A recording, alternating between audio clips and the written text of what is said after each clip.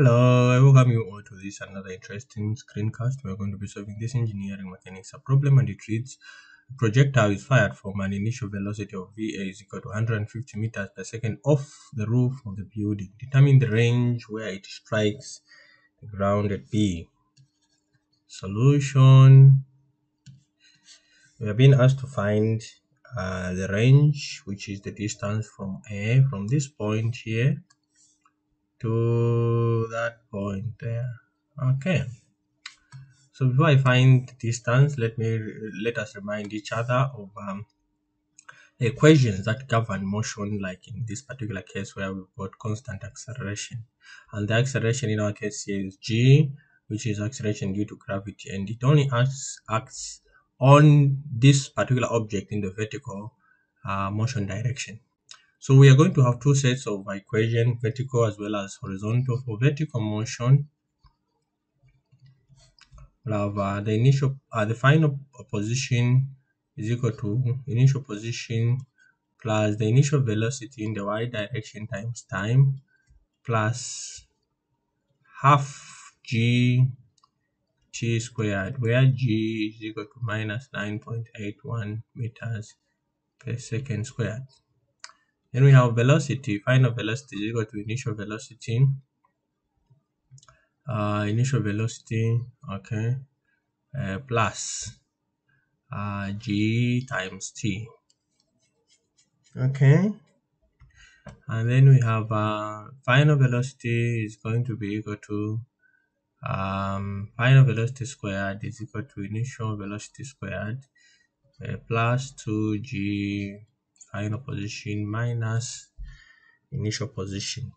Then we have the horizontal motion equation. This particular case, the horizontal velocity is considered constant. So because the acceleration is equal to zero. So x final is equal to x naught uh, plus v naught in the x direction times t. The acceleration part is zero.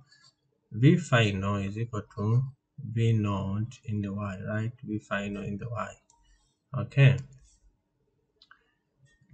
And then we have v final squared of course expected to be that way right?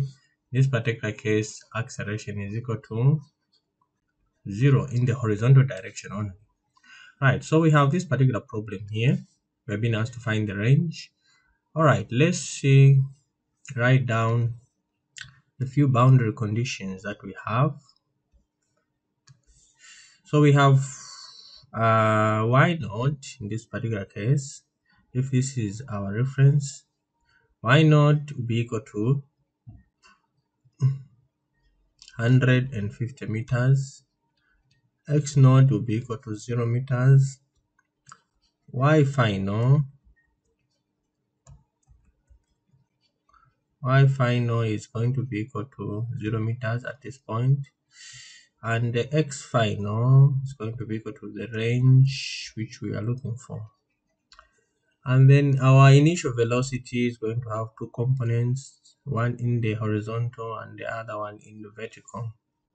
The one in the horizontal we are calling it vax so our initial horizontal velocity which is equal to 115 times 4 over 5 and then this gives us 120 meters per second then we have in the vertical we are calling it VAY is equal to 150 by 3 over 5 and this is giving us a 90 meters per second. I think we've uh, labeled everything that requires to be labeled. So now how do we work out this particular problem? All right. So we are required to find the range and for us to find the range we are going to use this equation. But if you look at this equation we have the x final. Do we have it? No we don't have that is what we are looking for x naught. Mm -hmm, we have it. V velocity, velocity in the V naught, the x, velocity in the x direction. Do we have it? Of course we do the initial time we don't have it we don't have it so we need the time right all right so let's use this equation to find the time are we able to find the time with that equation mm -hmm. All right. Let's get moving. Our y. What is our y? Our y. Let me just plug in all the values. We have y final. What is y final? It's 0. y naught. It is 150. v0y. v naught y. Uh, if 90 time, we don't have g is minus 9.81 meters per second squared. t, we don't have. So we have everything here except t, right? So we can find t, right? Can we? Okay, so uh, let's begin the work. Let's begin the work. So, okay, so we have our y. We said y final is zero. Um, y naught is 150. This one. Okay. Um velocity in the y direction is 90 times t minus y minus because our g is minus. Okay. It's pulling downward and then t squared.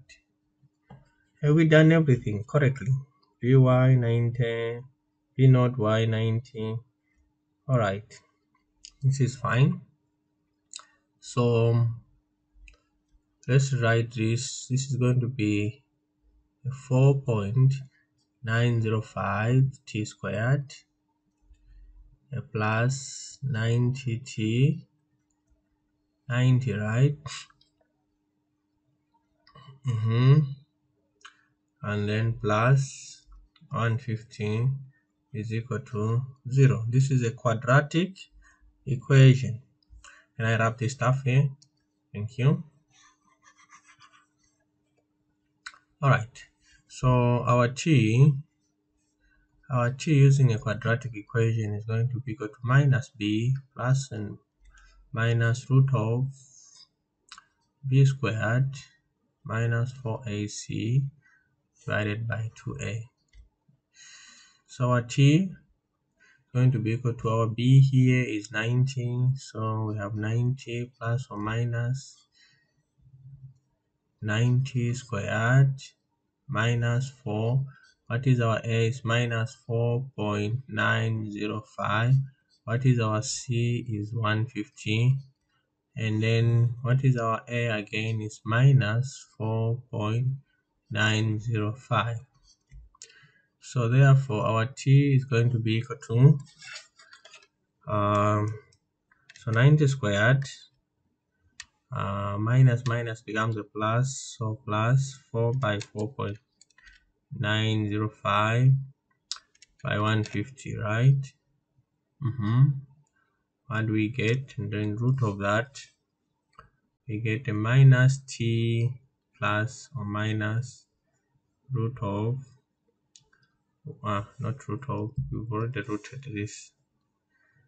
Minus let's say equal to i mean this is equal to 105.09 divided by when you multiply two it gives us a minus 9.81 all right so we have two t's one t is going to be a minus so 1 is minus 90 uh, plus 150.09 divided by 9.81. So 1 is a negative 6.13 seconds. The other one, let me just repeat that one. 90 plus 105.09 divided by minus 9.81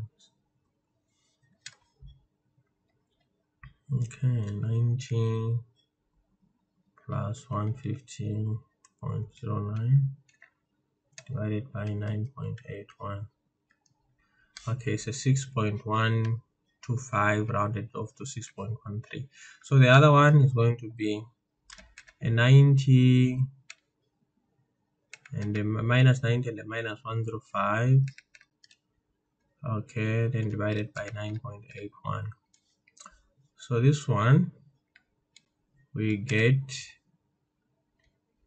uh, we get um 9.81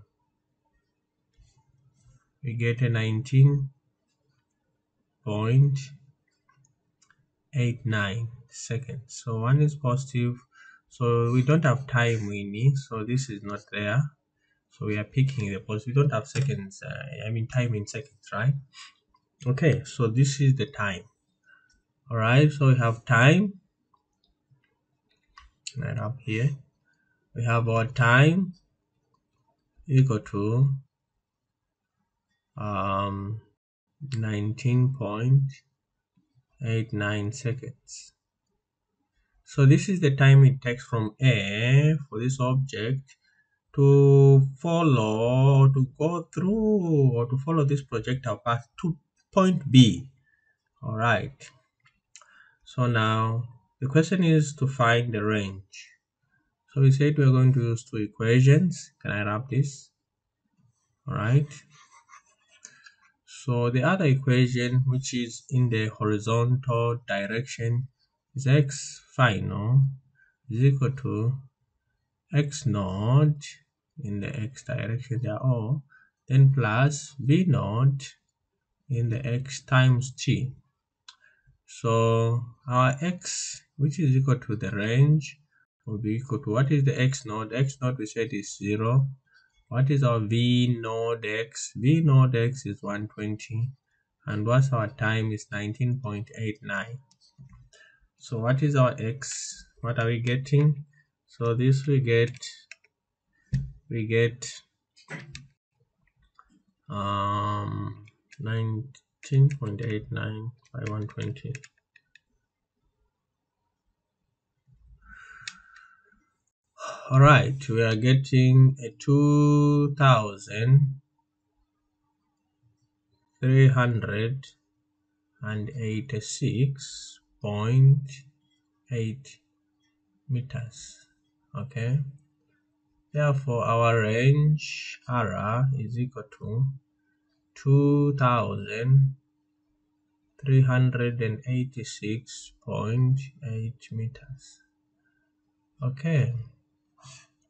so this is uh, the distance that this particular object takes for it to reach point B. That is from this point to B. Okay if we call this point A from A to B it covers this distance. All right.